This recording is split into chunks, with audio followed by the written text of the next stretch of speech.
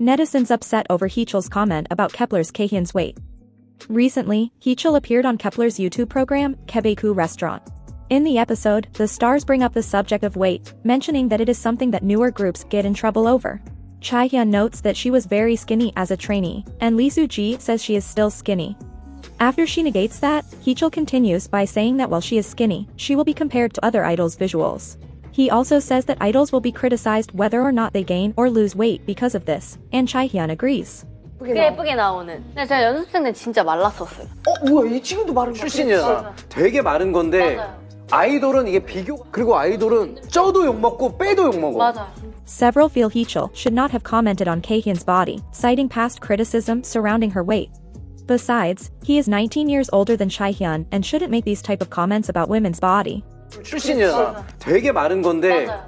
아이돌은 이게 비교가 돼.